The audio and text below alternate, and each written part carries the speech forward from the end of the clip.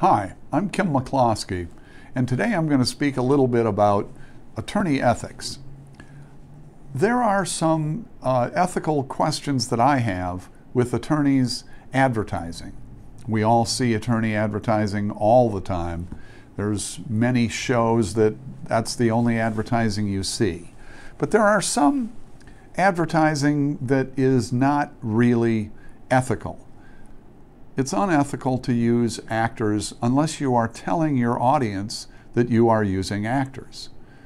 Many attorneys seem to use actors saying, oh, they got me $50 million or $20 million or a million dollars.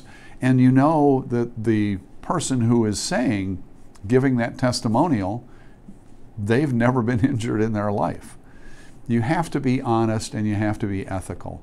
There is a firm that is from out of state that likes to say they were voted best and rated best. Well, who voted them best? It certainly wasn't the people of the Rock River Valley because we've been voted best for three years in a row. We are also rated best by the only rating company that rates lawyers, Martindale Hubbell. We are voted or rated best. So don't be taken in by misleading, unethical attorney advertising. Pay attention to what people are telling you and do your homework.